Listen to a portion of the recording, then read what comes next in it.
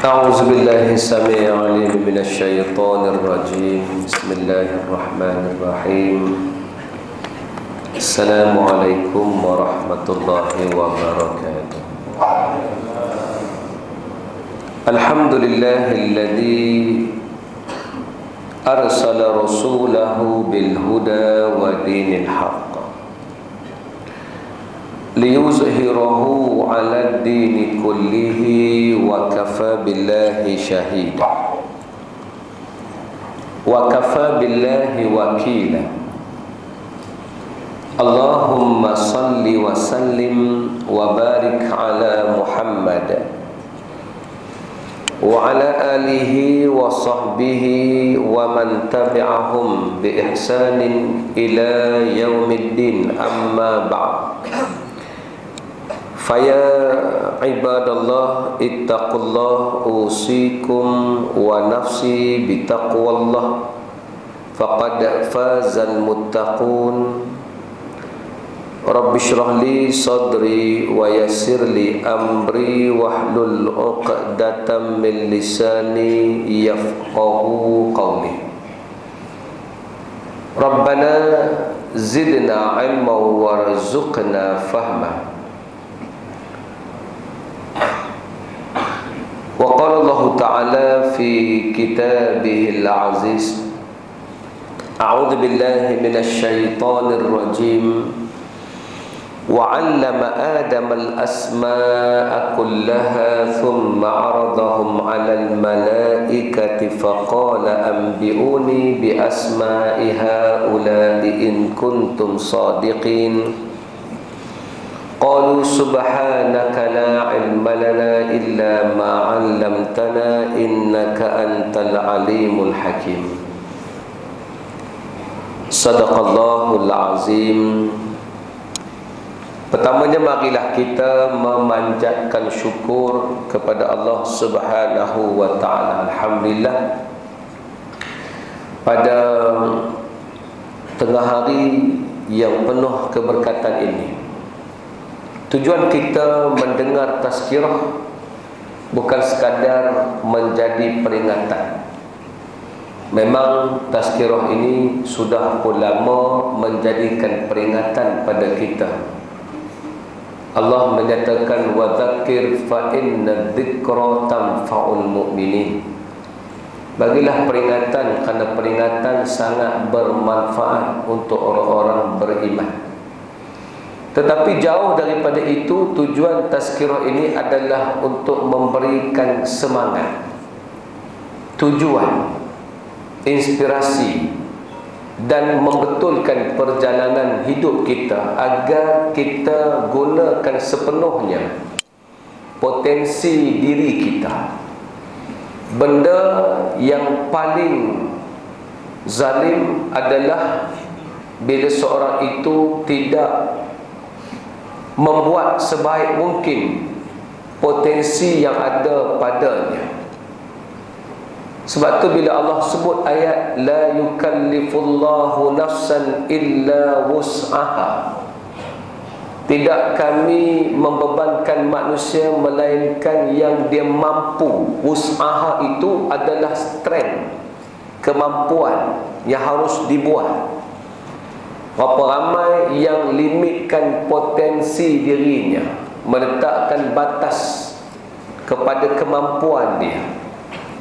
Cuba bayangkan umat Islam adalah umat yang ramai Tetapi bila setiap individu di dalam umat yang ramai itu Meletakkan limitation kepada kemampuan dia Menjadikan Islam itu tidak berjaya untuk menguasai Menguruskan muka bumi dan menjadikan Islam itu hanya agama yang lebih kurang sama saja dengan agama-agama lain. Allah istihar awal-awal inna dina indallahil Islam. Agama di sisi Allah adalah Islam. Allah tak suka agama lain dijadikan sebagai agamanya Islam. Dan sebab tu bila jadi Islam Ya ayyuhalladzina amanu dukhulu fis silmi kafah. Wahai orang-orang beriman, ambil Islam secara keseluruhan. Maknanya ayat-ayat gabung jalin ini menunjukkan Islam agama Allah. Yang kedua, dalam Islam tu ada segala benda kemahiran dan kebaikan. Tapi tak cukup hanya menjadi kelompok yang tahu Islam baik tapi tidak menjadi kelompok wasabiqum bil khairat kelompok yang berlomba-lomba untuk menjadikan Islam agama yang kehadapan tuan ni kita ada siri kuliah sebab tu kalau kita asyik bermuhasabah cari silap kita manusia ni kalau cari silap Duk cari silap muhasabah silap. Cari silap muhasabah silap Dia tidak akan pergi jauh. Yang kena buat adalah Betulkan kesilapan dan fikir ruang yang ada. Sebab tu Allah rakamkan dalam surah Al-Baqarah. Ayat lepas Allah nyatakan tentang manusia ini adalah khalifah. Allah sebut ayat lepas Allah sebut khalifah dalam ayat ke-31 wa 'allama Adam al-asma'a kullaha thumma 'aradahum 'ala al-mala'ikati faqala anbi'uni bi asma'i haula in kuntum sadiqin. Allah Taala kata dan Allah mengajar kepada Adam setiap perkara asma benda semua benda Allah ajar kepada Adam. Thumma aradahum alal malaika. Nak bagi beza antara manusia dengan malaikat. Ingatlah Malaikat ada weakness dia. Manusia pun ada weakness dia. Manusia pun ada strength dia. Malaikat pun ada strength dia. Kena faham molek-molek. Ayat ni Allah declare. Apa strength manusia Apa weakness manusia Strength yang ada pada manusia adalah ilmu. Boleh menambah pengetahuan Belajar. Dia ada otak Yang dia boleh proses Jadikan benda lebih baik. Sebab tu perkataan Wa'allama Adam Adam ini Dia konsisten Belajar. Belajar ni maksudnya Boleh Explore the new thing. Manusia Tuhan jadikan Dia setiap masa boleh dapat benda baru kalau faham ayat ni, orang Islam patut ke depan. Tapi hari ni orang Islam terkebelakang pasal teknologi semua dikaji oleh barat. Ni hatta mikrofon yang kita pakai ni bukan orang Islam buat tuan-tuan. Tahu hak ni pun bukan orang Islam buat apa, kita pun tak tahu tuan. Dan kamera ni sudah tentu bukan orang Islam buat. Hak ni nama Canon, hak tu nama Sony. Dua-dua Jepun buat. Yang mereka langsung tak pernah dengar ayat mereka boleh fulfill potential mereka untuk jadikan dunia lebih baik. Tapi kita ada ayat. Allah ajar potensi manusia lebih baik daripada malaikat. Malaikat weakness dari segi pengetahuan dan malaikat bukan jenis orang boleh explore. Adalah makhluk yang bukan boleh explore. Bukan. Malaikat ada kelebihan dia. Kekurangannya dia tak boleh beat Adam dari segi knowledge tuan dari segi fikrah. Dari segi mengembangkan bakat. Tak boleh. Batu Allah cerita elok-elok thumma aradahum 'alal malaikah. Allah bentangkan kepada malaikat apa yang Adam tahu. Malaikat tak boleh jawab sebab malaikat tidak ada kekuatan di situ. Hingga kan bila Allah bentangkan pada mereka Allah Ta'ala kata Qala ambi'uni bi asma'i ha'ula'i in kuntum sadiqin Hai malaikat Ni Benda-benda depan mata kamu cuba cerita Ni apa dia? Ni apa dia? Ni apa dia? Allah bagi Adam mengetahui semua benda tu Tapi malaikat tak ada kekuatan tu Maka malaikat jawab apa? Ayat ke-32. Qalu subhanaka la ilma lana illa ma 'allamtana innaka antal alimul hakim. Kami tak boleh buat apa ya Allah. Kami tak tahu. Kami serah semua benda ni ilmumu. Kaulah yang maha suci. Subhanaka la ilma lana illa ma 'allamtana. Kami tak akan dapat pengetahuan melainkan apa yang kau ajar pada kami ya Allah. Allah letak limitasi malaikat. Dia tidak ada strength dari segi pemikiran sebab yang Allah kata ajar ni adalah akal adalah ilmu adalah benda yang masuk ke minda dan boleh proses. Malaikat tak ada strength tu. Apa strength malaikat? Allah rakam dalam ayat yang lain. Malaikat ni la ya'sunallaha ma amarahum wa yaf'aluna ma yu'marun mereka akan patuh kepada Allah dan tidak akan engkar Allah sedikit pun. Itu strength malaikat. Strength manusia fikrah. Strength manusia boleh belajar. Strength manusia boleh jadikan dunia ini better place tempat yang baik. Itu strength kita. Tapi masa yang sama kita tak boleh jadi malaikat. Kita ada kelemahan. Kelemahan kita apa dia? Kita kadang-kadang buat baik kadang-kadang buat jahat. Al insan la yakhluwanna min al khata' wan nisyan. Manusia tidak sunyi daripada buat salah dan silap kenapa manusia nama manusia? Ha. Bila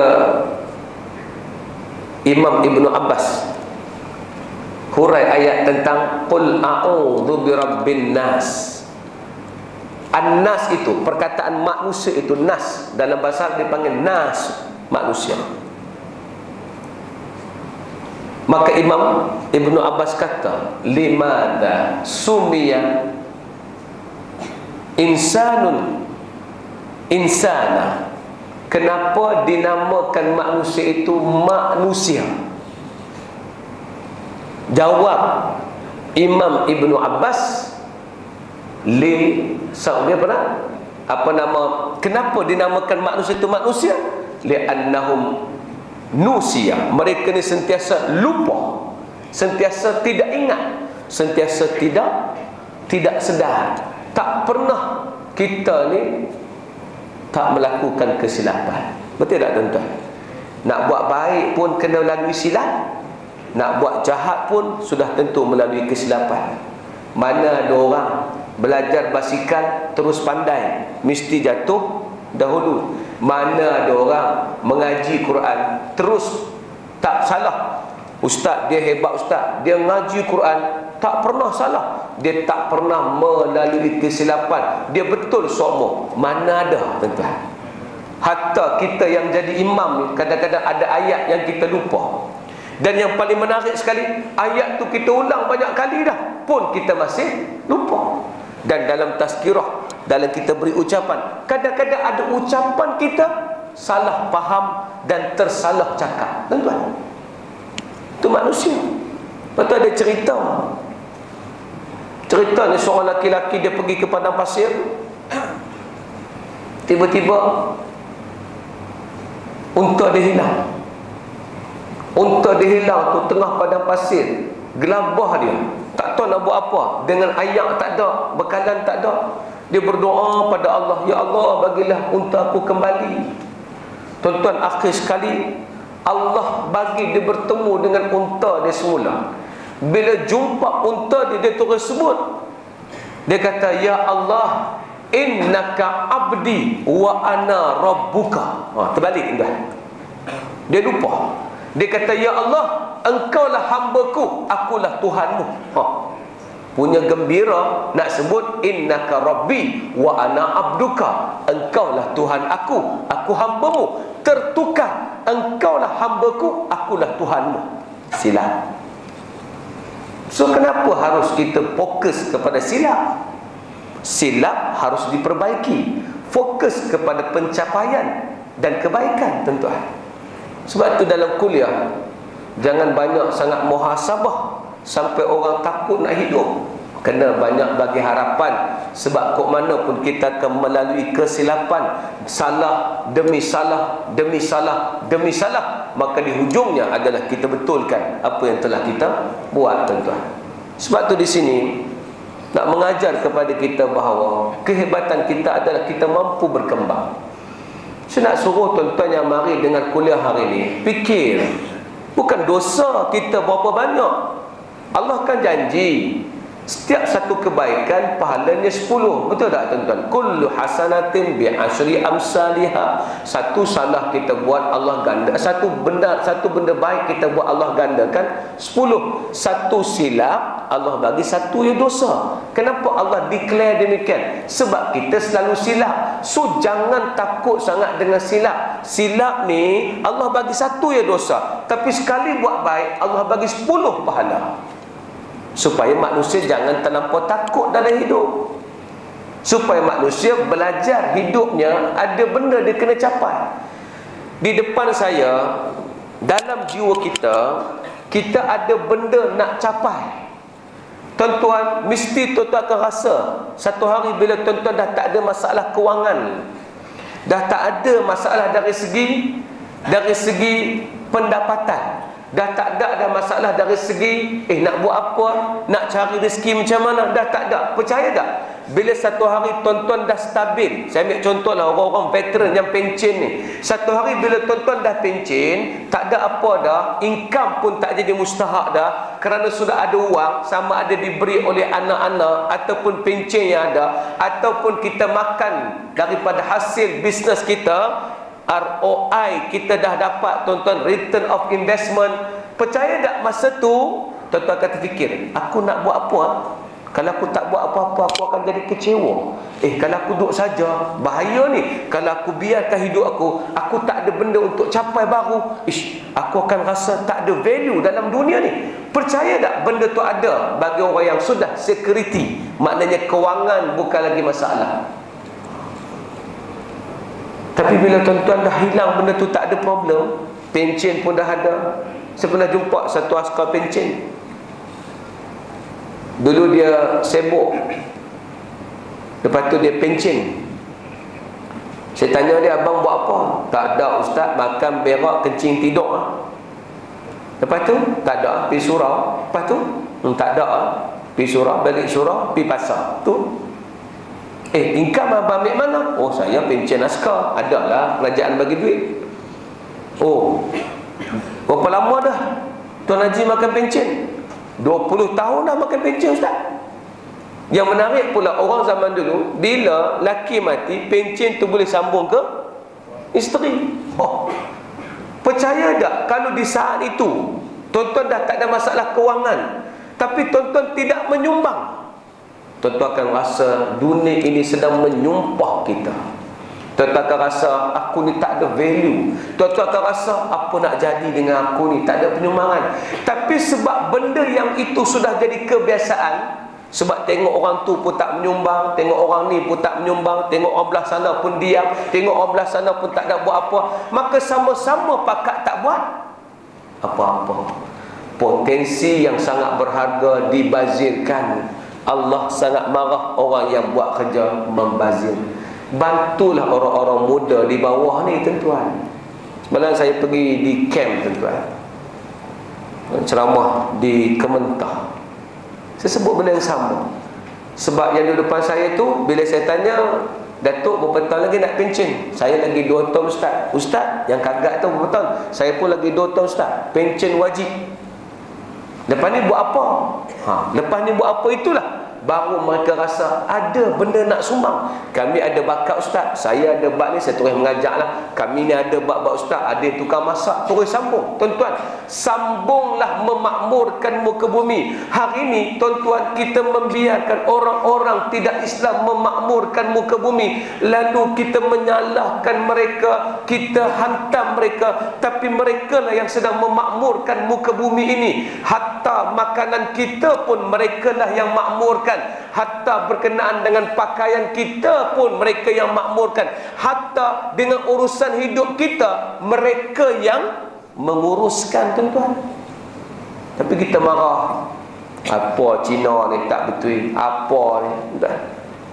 Ni hari ni sedang jadi krisis ekonomi dunia kerana Cina adalah ranking kedua penguasa ekonomi dunia Dulu mereka ranking ke-6 Masa ada penyakit berjangkit jadi zaman dulu. Sekarang ni bila jadi wabak coronavirus Tuan-tuan kena ingat China di ranking kedua. Bila ranking kedua Semua kilang berada di China. Apple telah merungut sebab kilang mereka tak boleh beroperasi, saham mereka dah jatuh sebab kilang tak boleh keluar produk, penyakit berjangkit merebak. Bila ekonomi China terjejas, ekonomi satu dunia akan terjejas sebab produk tak boleh buat, orang tak boleh masuk keluar China. Barang-barang yang diorder tak boleh sampai, orang nak berurusan dengan China tak boleh sebab penyakit tersebut. Jangan gembira sangat kata penyakit itu adalah musibah untuk orang Cina.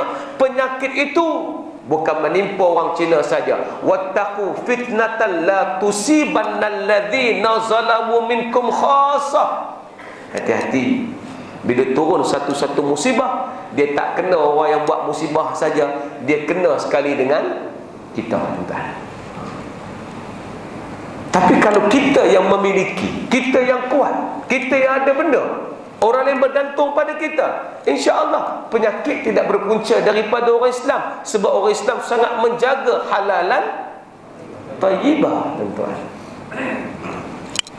Kita tengok semua penyakit dulu ada di Eropah penyakit lembu gila. Bukan lembu tu bukan lembu tu yang mati, orang yang makan lembu tu mati. Dulu ingat tak lembu tu di, di, diubah makanan dia. Dia beri makan daging sebab nak bagi gemuk lembu tu daripada makan rumput dia beri makan daging. Bion lembu tu tuan gila. Bila lembu tu gila, lembu tak mati. Orang makan daging lembu tu mati. Dulu ada Ebola di Afrika. Ebola ni pasal orang makan monyet tuan-tuan. Monyet tu dijual di pasar. Penyakit Ebola tu duduk dalam monyet. Lepas tu ada penyakit daripada khinzir tuan-tuan. Ada sesama burung. Semua penyakit bermula daripada binatang dan haiwan. Allah ajar kita makanan mesti halalan tayyibah. Sebab tu punca penyakit tak datang pada kita. Ha. Cuma kita ada penyakit lain lah. Kecil manis, darah tinggi, gout. tu yang penyakit. Tapi tu lambat mati. Dah. Nah. 10 tahun dah kecil manis, tak mati-mati. Kira okey lah. Dah. Di situlah memberikan gambaran dan kefahaman. Saya nak tanya, apa sumbangan yang tuan nak buat? Adakah dengan datang masjid saja? Jadi orang yang duduk di masjid, dengar tazkirah, keluar daripada tazkirah, beli ayat nenah depan tu, kemudian balik sambung kerja meneruskan kehidupan tak ada achievement baru sedangkan orang lain sedang mencapai satu persatu satu persatu. Tuan-tuan perkara yang saya sebut ni saya tahu di depan saya ni ada orang mampu. Tempat kita berkumpul di sini ada orang yang jadi postman, di sini ada orang yang pengarah syarikat, di sini ada orang yang pernah kerja TMB, di sini ada orang yang pernah buat bisnes, di sini ada pengarah filem, di sini ada belaka. Bila dah dengar tajuk ni, menyuntik tak suis kita untuk buat sesuatu. Kalau menyuntik, ya. Kita termasuk kelompok wasabiqum bil khairat. Orang ni darjatnya sama dengan muhajirin dan ansar. Kalau kita tak move Kita hanya jadi ahli ibadah Yang tempat kita bukan sedarjat muhajirin dan ansar. Tapi kalau kita move Kita buat satu Kepakaran kita kita gunakan. Saya cerita ni Pasal kepakaran kita ada. Bukan tak ada. Tuan-tuan pencen daripada apa? Ada kepakaran Gunakan untuk Islam. Benda remeh pun sehari ni kita kena uruskan tuan-tuan Mi Kita terpaksa makan hak Cina lagi. Tuan-tuan Takkan tak ada orang pandai buat mi? Takkan tak ada orang pandai manage mi tersebut? Takkan tak ada orang pandai untuk bawa sale mi tersebut? Takkan tak ada marketer yang pandai untuk menguruskan urusan jual beli itu? Kalau dah rasa duit banyak sangat Tolonglah untuk penuhi. Bagi umat Islam kuat lagi Ini saya sebut mi lah. Sedangkan banyak lagi aspek lain tuan-tuan Cuma sekarang ni saya tak fokus mi. Saya kata, apa yang tuan-tuan ada? Tuan-tuan nak sumbang apa? Sebab umat Islam mesti wa anfiqu fi sabilillah.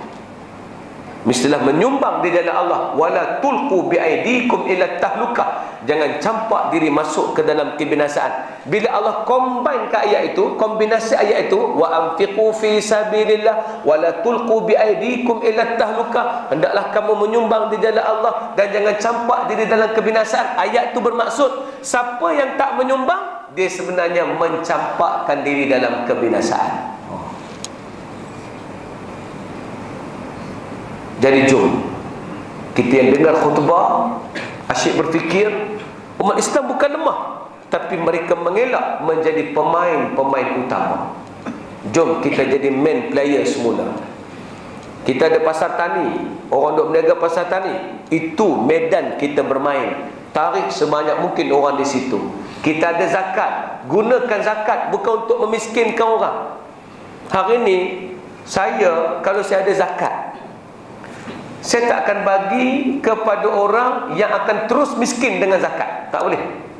Yang kena buat adalah ada zakat cari orang yang boleh mengembangkan zakat. Contoh dia memang asnaf tapi dia rajin berniaga. Zakat patut bagi dekat dia. Semoga dia keluar daripada asnaf zakat. Kalau zakat makin diberi asnaf zakat makin bertambah orang pengeluar zakat makin kurang maknanya zakat itu tidak produktiviti fikir semula kalau tuan-tuan bagi zakat zakat itu tidak produktiviti tuan hati-hati. So saya mengajak marilah kita semua menjadi orang yang buat sesuatu. Saya jumpa banyak orang di masjid. Ada yang jadi kontraktor Bahkan ada yang jadi artis pun. Saya jumpa semua di masjid. Saya jumpa Rosham Noor pun di masjid. Saya tak jumpa di tempat lain. Saya tak boleh pergi Apa nama Anugerah meletup era tuan-tuan. Tak jumpa mereka-mereka ni. Tapi kebetulan mereka ni ada sekelumit iman. Datang mari ke dalam siri kuliah kita. Kebetulan ada khutubah Khutubah ni tuan-tuan Untuk pengetahuan tuan-tuan Bukan orang baik saja datang khutbah tuan Orang yang nakal pun bila hari lain tak semayang Tapi Jumaat Solat tuan Kurang-kurang mereka yang mari tu Kita tahu mereka ni jarang datang. Kita sentuh mereka Tuan-tuan. Mereka ni lah yang datang jumpa saya Cerita apa yang sedang buat. Bila mereka cerita Saya tahu Oh banyak rupanya orang sedang buat. Cuma berpecah-pecah. Yang ni buat sikit yang ni buat sikit yang ni buat sikit. Dia mesti kena bersatu. Wa'tasimu bihablillahi jami'a. Kena kumpulkan kekuatan itu hanya kekuatan itu secara jamaah tuan-tuan. Mau jadi? So siapa yang ada buat sesuatu tuan-tuan kena terus buat jangan berhenti. Siapa yang sudah pencet fikirkan nak sumbang apa. Siapa yang duduk saja tak tahu nak buat apa otaknya kena ligat aku nak tolong apa Islam ni? Semoga aku dirahmati oleh Allah. Siapa yang belum jumpa jalan carilah jalan agar dia bertemu apa yang dia nak sumbang. Kata kunci besar kita bukan hamba kepada dunia. Kita hamba pada Allah. Kita adalah pengurus dunia yang mesti move untuk memakmurkan muka bumi buat muka bumi ini lebih manfaat daripada orang lain Cukuplah tuan-tuan kalau ada orang pandai buat aplikasi dia buat satu himpunan hadis-hadis sahih untuk semua orang tengok hadis. Cukuplah dia buat satu aplikasi membetulkan tajwid orang yang boleh baca Quran. Kalau itu sumbangan dia boleh bagi sumbangan. Yang tak boleh hak tu Yang boleh sumbang apa? Yang boleh sumbang datang ke masjid. Dan bagi masjid ni nampak baik dan cantik Datanglah ke masjid. Yang penting jangan jadi pengguna semata-mata. Kena tukar menjadi Pemberi manfaat kepada dunia Islam. Kalau semua orang fikir demikian Islam tak akan lemah. Kita akan terus maju. Ha? Dan mudah-mudahan apa yang saya sebut ini ada baik dan manfaat Dan kita sambung dalam khutbah nanti tuan-tuan. Ha? Mudah-mudahan masjid adalah tempat umat Islam mengumpulkan kekuatan Keluar sebagai satu jemaah Menguasai dunia balik. Jangan biar dunia ini terlampau lama dikuasai oleh orang-orang lain sebab dia akan merisikukan iman kita. Tugas kita adalah menguasai balik apa yang ada di luar sana teknologi di luar sana makanan di luar sana barang-barang di luar sana umat Islam mesti kuat balik. Saya tidak cakap dengan masyarakat Melayu saja termasuk rakan-rakan kita daripada Bangladesh. Mereka yang pernah buat satu yang hebat buatlah. Sebab saya pernah pergi ke Loyat tuan-tuan. Bagus. Rakan-rakan kita daripada foreigner tapi dia Islam sama daripada Pakistan daripada Bangladesh. Dia pun pelan-pelan. Duduk di Loyat tu asalnya masuk tumpang ya Sekali ada banyak kedai dah Mereka kuasai Mereka boleh buat sesuatu. Dan mereka sudah mampu untuk tunjukkan Bahawa mereka boleh lawan dengan orang-orang masyarakat Cina Dan mereka mampu. Kalau orang-orang yang datang ni ke negara kita mampu Kita daripada negara ini Lagilah mampu ini tanah air kita tuan-tuan. Insya-Allah kuatkan kekuatan, tanam semangat bagi kekuatan pada orang lain. Mudah-mudahan kita kuat. Cukup sekadar tu insya-Allah. Siapa-siapa yang nak join saya boleh pergi ke Telegram. Ini Telegram saya ustazzul.id supaya tuan-tuan dapat access dengan saya, bahan saya masuk hari-hari. Semoga tuan-tuan semangat untuk hidup dan insya-Allah join saya, saya akan bagi motivasi, saya akan bagi panduan, saya akan ajak tuan-tuan buat sesuatu kalau tuan-tuan berminat untuk buat dunia lebih baik join saya di telegram tuan-tuan. Ataupun pergilah ke facebook saya Ustaz Zul Pandan. Mudah-mudahan tuan-tuan dapat join saya insyaAllah. Di luar sana depan pintu dan sebelah pintu ni ada tabung untuk sekolah. Saya bernama Makas Tuan-tuan bagilah sumbangan di tabung itu InsyaAllah. Mudah-mudahan sumbangan tuan-tuan dapat kami meneruskan lagi kekuatan jihad Agar dunia jadi lebih baik. Mudah-mudahan Allah bagi rahmat kepada kita. Assalamualaikum warahmatullahi wabarakatuh Allah